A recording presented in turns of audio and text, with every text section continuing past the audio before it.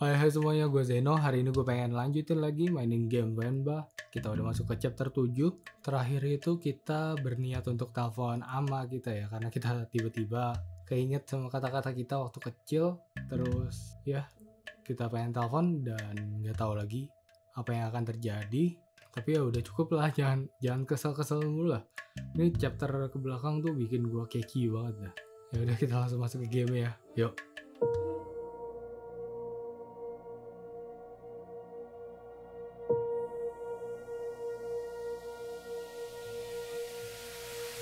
Lucu lagunya. Oh ini si Venba. Oke oke. Oke ini foto bokapnya si Papalan. Lagunya lucu banget ya? Oh. Oh. Oh mereka balik ke eh mereka lagi. Si Kevin balik ke India ya? Oke bikin apa nih? Crabs ya? Set lagunya heboh banget dah kayak gue yakin ini agak-agak itu deh lagu komersil nih.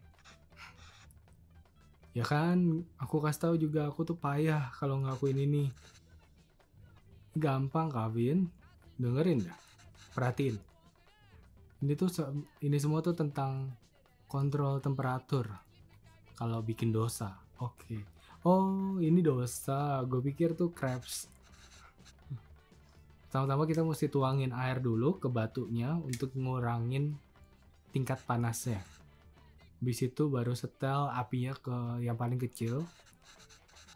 Oke, habis itu tuang adonannya. Dan karena batunya itu udah nggak terlalu panas, kamu bisa sebarin dah adonannya dengan mudah. Oke, habis itu tambahin minyak ke pinggiran-pinggirannya. Habis itu naikin temperatur ya. Dengan begitu kamu bisa goreng adonannya dan bikin kamu lebih mudah untuk ngebalikin kalau pinggirannya itu udah kecoklatan. Dan habis itu kelar deh, gampang kan? Iya, buat mama. Kalau buat aku dosaster. Permainan kata ya di disaster sama dosa, jadi dosaster. Oke, tadi air dulu terus setel apinya ke paling kecil tuang adonan. Terus oh puter. Puter-puter ini favorit gue ini. Demen banget gue oke. Terus habis itu kasih minyak ya. Oh bikin crab sih pembalik dosa. Oke, kita balik. Uh, ya. Ah, kayaknya aku udah ngelakuin semuanya dengan benar deh. Well, hampir. Iya, apa yang salah ya? Oke. Oh iya iya, lupa gua. Ah iya, iya. oke oke oke. Ini kemari turunin panasnya tuang adonannya terus puter puter. Puter puter puter puter. Seru juga ya kalau salah ya. Terus tuang minyak. Terus baru kita naikin suhunya. Nah baru deh kita balik oke kalau salah stepnya kita bakalan ngasilin makanan yang gagal. Jangan semuanya juga ada bagian yang gagal kayak gini loh. udah dong.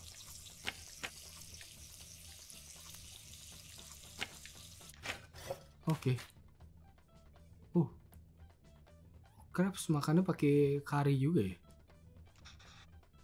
Oh, aku bisa ngelakuin. Good job. Udah siap bikin sesuatu yang lebih susah lagi? Oke, kamu udah bisa, udah siap belum nih mau bikin otapam? Otapam. Kalau salah maaf ya cara bacanya. Dosanya itu bakalan lebih tebel kali ini jadi kita bisa naruh semua sayuran oke oh jadi kayak pizza ya dengan semua topping-toppingnya iya tapi enggak juga sih. Oke berarti kan ini air ke sini terus api ya kecilin tuang adonan. Oh ya nggak ada minyak ya? Putar putar putar. Favorit gua. Kalau tebel berarti adonannya dua kali? Oh enggak sekarang toppingnya apakah aku harus masukin semuanya? Nah, sebenarnya kau bisa masukin apa pun yang kamu suka aja sih. Karena setiap orang tuh punya otapamnya sendiri. Beda-beda jadinya. Tapi pastiin aja untuk masukin G-nya pertama kali ya. Oke. Ini apa nih? Bombay? Oh ini G nya ini wortel. Terus ini cabai hijau. Ini ili powder. Bubuk ili. Idli tuh jadi apa sebenarnya? Perasaan yang pas awal-awal itu kita bikinnya idli dah. I idel idel cara bacanya. Jadi yang pertama ini G. Oh pengganti minyak ya. Oke oke oke. Terus kita taruh topping ya kayaknya sih gue tuang semua aja soalnya gue suka semuanya.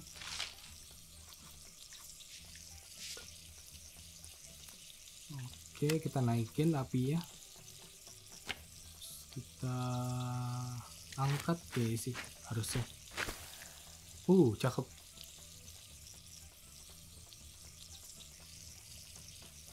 Oh udah ya? Hmm kayaknya aku udah mulai terbiasa nih bikin ini. Uh cakep ya baru tahu sih gue ada Indian pizza ini.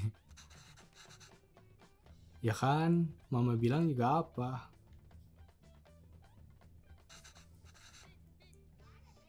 Nah kalau ini mama udah lama sih nggak bikin. Ini favorit papa kari dosa. Dosa dengan daging cincang. Oke. Exactly. Kita bakalan bikinnya pakai daging domba. Tapi kalau kamu mau kamu juga bisa bikin pakai daging ayam atau daging sapi. Terserah kamu sih. Oke jadi air dulu.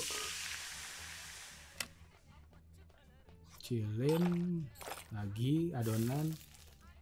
Putar-putar. Mana? Gue terlalu semangat muterin. Oke. Good job Kevin sekarang kita bisa masukin dah topping karinya. Seperti otafam kamu juga harus taruh G nya itu pertama. Bisa taruh telur kocok sebagai uh, pelapisnya. Terus habis itu diikutin dengan kari yang sebenarnya habis itu akhiri dengan daun ketumbar. Oke my favorite. Jadi G dulu ya. Ini ada karinya terus ada koriander juga sama telur kocok. G G G G G kari. Eh salah. Ya ya maaf ma. Maaf ma. Telur dulu. Uh, kayak ini enak ini sih.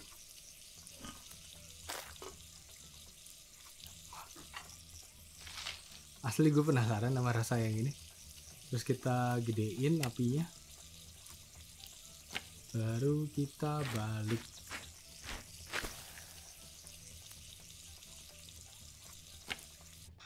Balik dah.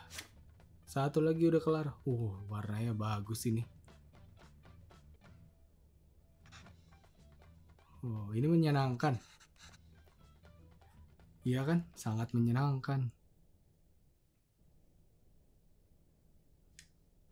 Mama cobain langsung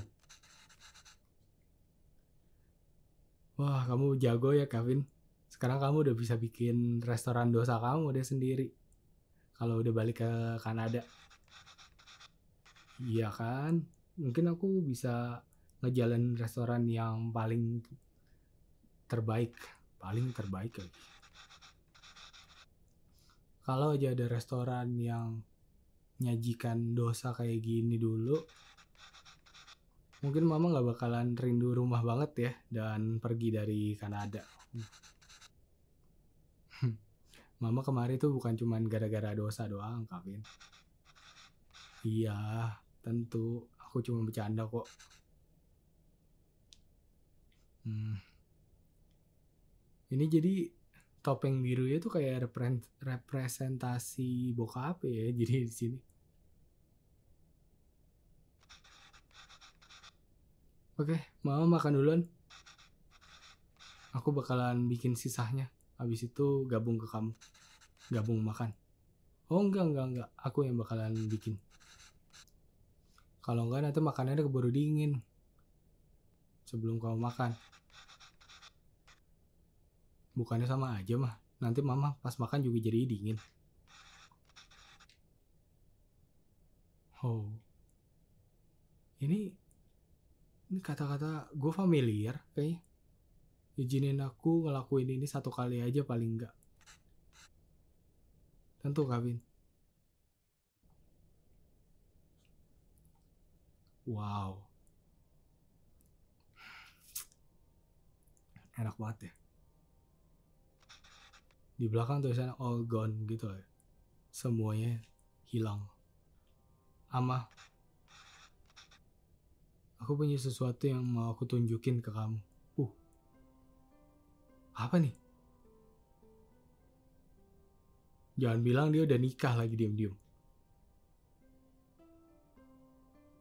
Oh, nggak nggak kejauhan kok kejauhan. Berarti belum belum nikah.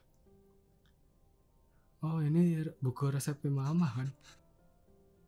Kamu pakai buku ini? Wait, tunggu. Ini ada beberapa hal yang bukan aku yang benerin kayaknya. Kamu juga benerin buku ini? Dan kamu nulisnya dalam bahasa Tamil? Oh ini luar biasa Gavin. semua riset ini cuman eh semua riset ini untuk show yang lagi kamu tulis kan ya? Enggak, ama Enggak. Oh, oh.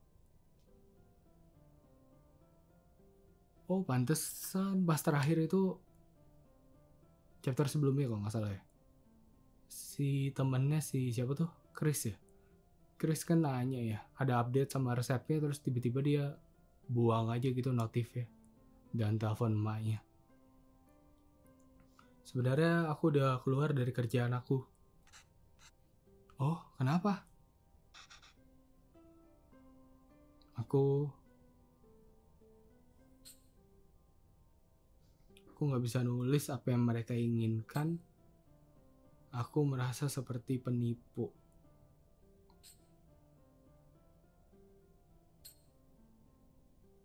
Aku merasa seperti penipu. Aku ambil kerjaan itu karena waktu itu cuma tempat itu yang mau nge-hire aku.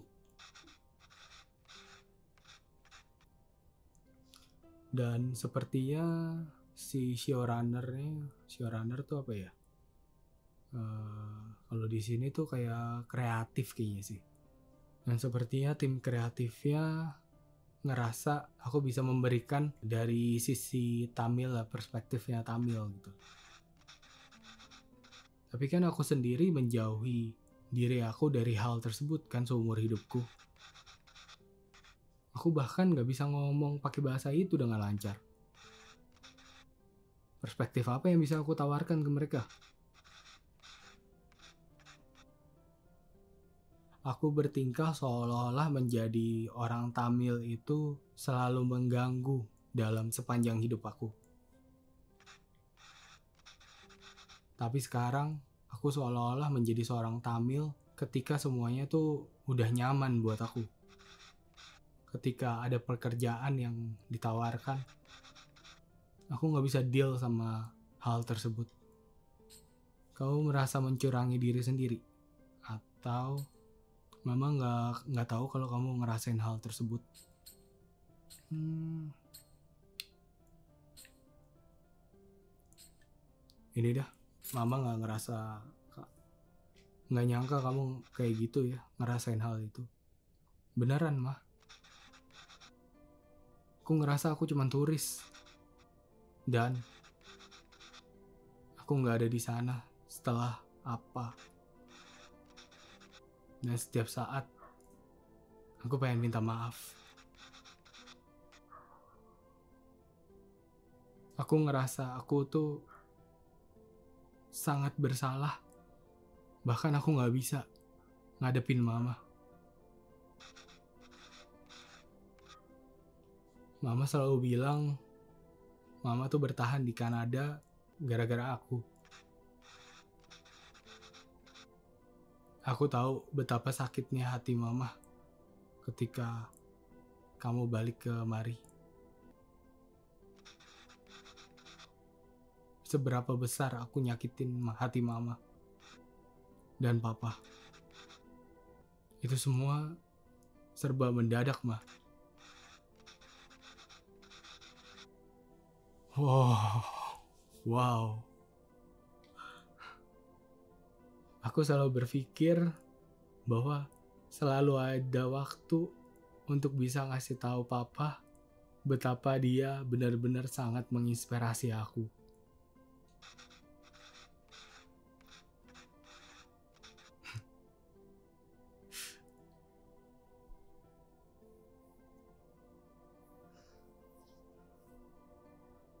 Bahkan cerita-cerita yang dia karang waktu aku kecil dan dia bacain ke aku sampai akhir aku tidur. Wow, dia inget ya ternyata.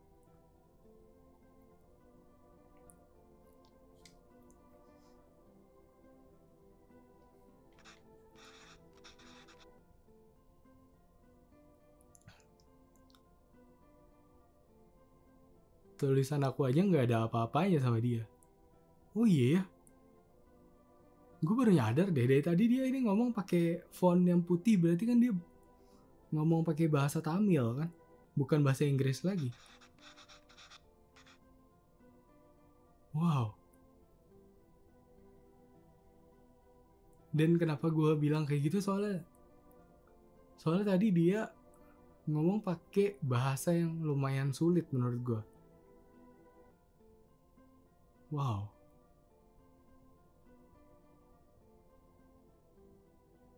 Gila, sentuhan kecil kayak gini aja tuh bakalan berasa sih di orang tua. Kalau aku nulis hari ini, itu semua karena papa. Aku selalu berusaha untuk ngejar dia.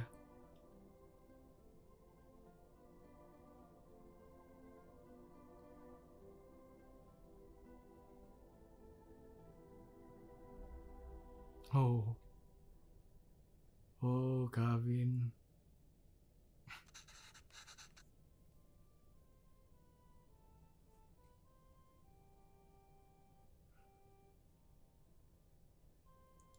Bukan karena hal itu aku kemari, Gavin. Hmm? Bukan. Aku kemari karena itu yang terbaik bagi aku. Dan bahkan meskipun itu menyakiti diriku, tapi itu tetap yang terbaik untuk kamu. Wow, Gavin, Gavin, lu udah berdosa banget sih lu. Maksudnya apa? Aku suka tinggal di sini. Warga-warganya, keluargaku, pekerjaanku, semuanya. Keluar dari India atau ninggalin India emang India emang penting. Tapi itu semua sangat berat aku ngerasa bersalah ninggalin. Dan aku benar-benar melewatkan kesempatan banget bahwa aku pengen ngebasarin kamu seperti aku tuh nggak pernah ninggalin sini. Pasti itu bakalan bikin kamu sangat tertekan sih. Dan setelah pavilion well balik lagi kemari dan ngajarin anak-anak di sini tuh semuanya udah berjalan dengan baik lah kalau aja aku tetap bertahan di sana, mungkin mama nggak bisa ngasih kamu ruang atau space yang kamu butuhkan. Makasih ya, Ma. tuh orang tua tuh udah banyak berkorban tau gak lo berapa lama lagi kamu bakal stay di sini? Nggak tahu ama tapi di sini sangat menyenangkan. Bagaimana dengan mama? Apa mama pengen balik ke Kanada nggak tahu sayang tapi di sini benar-benar menyenangkan Nah ini topeng kok waktu itu bisa matanya gerak gitu loh. Gue gue masih bingung. Nggak nggak ada jawabannya gitu. Gue belum cari tahu sih jawabannya di mana-mana. Nanti mungkin ya habis ini. Gue bingung. Ya. Lah kelar. Lah gimana ini? Eh, gimana ini? Gue belum nyiapin apa-apa. Ya seperti yang gue bilang di awal kan di first impression visual sama art style ini gue suka. Simple terus enak dilihat.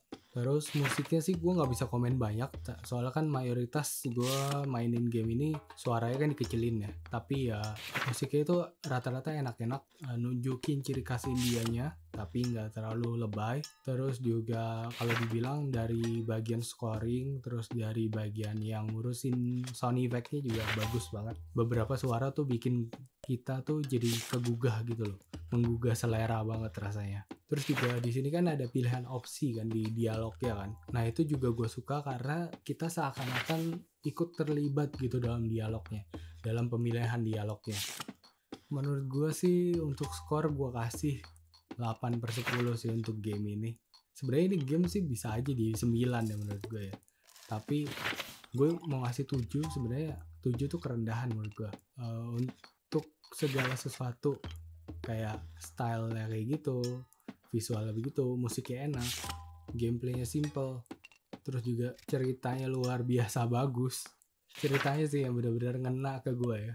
Dan kayaknya sih game ini bakalan gue kasih ke anak gue nanti untuk cobain biar dia nggak ngelawan orang tua gitu loh. Ya ini game sih luar biasa sih. Kita bisa belajar kehidupan loh dari game ini. Nggak lebay ini beneran. Beneran bisa. Ceritanya sebagus itu. Kita dikasih sudut pandang dari orang tua terus kita juga dikasih permasalahan-permasalahan anak remaja yang biasanya ada gitu dan ini yang gue suka sih game memberikan dampak positif buat kalian. Buat kalian yang main game itu sendiri ataupun kalian yang nontonin gue main game ini. Ya kenapa gue bilang 8 per 10 enggak 9 per 10 atau 7 per 10 ya 7 per 10 menurut gue kerendahan sih untuk game yang sebagus ini. Terus kenapa nggak 9 per 10 ya karena game ini tuh punya kekurangan. Menurut gue kekurangan itu satu gamenya terlalu mahal untuk durasi permainan yang cuma segini doang gitu. Tiap chapternya kayak nggak nyampe satu jam deh. Kayak cuma setengah jam atau paling lama ya 40 menit. Terus juga kalau lo udah tamat nih nggak ada extra game atau side quest atau side apalah. Jadi udah kalau misalkan udah kelar kalian ya cuma bisa ngulangin per chapter aja kayak gitu loh ya game ini asli mahal sih. Soalnya pas rilis itu kan kalau tanpa diskon itu 14,99 dolar ya sedangkan ini lagi diskon makanya jadi 12,74 dolar. Itu mahal sih menurut gua. Kalau kalian mau main game ini sih mendingan main di Game Pass aja lah. PC Game Pass dia kan free kan. Jadi kalian bisa coba gamenya cuman paling ini di total-total sekitar berapa ya? Cuman sekitar 3 jaman doang sih. Dan yang gua kecewa lagi ya di chapter 5 tuh apa ya? Kayak lu males gitu bikin gamenya fokus kita kan di game ini kan main masak-masakan kan ya. Sedangkan di chapter 5 itu kita nggak ngikutin resep tau nggak? Kita cuma tinggal klik klik klik klik klik. Makanan udah jadi tinggal diklik tinggal dibalik. Kesel banget gue esensi yang masak di chapter 1, chapter 2 tuh udah nggak ada gitu. Baru balik lagi pas terakhir-terakhir tuh si si Calvin bikin ini kan sup ayam ya terus sama bikin dosa kan terakhir. Iya di chapter 5 itu padahal masakan banyak banget tuh. Kenapa kita nggak dibiarin gitu loh bikin semua masakannya itu dari nol gitu. Biar berasa ini game masak gitu bukan cuman game klik doang. Gue bener-bener support banget sih game ini untuk dapetin sequel ya menurut gue kalau ada Venba 2 mungkin bisa prequel. Waktu si Venba ini mutusin untuk pindah ke Kanada tapi dari sudut pandang mamahnya si Wenba itu pasti bakalan menarik banget sih soalnya kan kita dapat feeling orang tua yang ditinggal anaknya untuk imigrasi ke negara orang gitu kan. Di mana dia berasa uh, sakit hatinya ditinggalin. Terus habis itu gimana dia struggle dengan penyakitnya? Ya gitu gitulah gimana sudut pandang tetangga-tetangga mungkin ngedengar anaknya yang pergi ke luar negeri. Itu sih sisi itunya gue cukup tertarik gitu. Dan mungkin juga kalau misalkan ada Venba 3 nah itu baru bisa tuh sequelnya dari si Gavin mungkin punya istri. Istrinya itu mungkin bukan orang India asli mungkin dia orang Amerika Kanada gitu-gitu. Pokoknya dengan ras dan suku yang berbeda dari si Gavin yang pasti bukan dari India. Nanti baru tuh permasalahan pernikahan beda ras dan sebagainya sehingga munculin ide untuk bikin makanannya itu fusion campuran dari masakan India dan juga masakan internasional. Jadi masakan India modern lah. Wah ini tuh potensi game ini tuh untuk ekspansi itu tuh besar banget nih menurut gua. Ya mudah-mudahan dia nggak ngelewatin kesempatan ini sih aku pengen banget sih bisa ada Vemba 2 atau 3 lah. Ya yang pasti sih harus dibedarin lagi. Karena ini kan gamenya fokus game masak-masakan kan. Jadi mungkin mereka harus put a lot of effort untuk bikin gameplay masak-masakannya itu jauh lebih menarik lagi.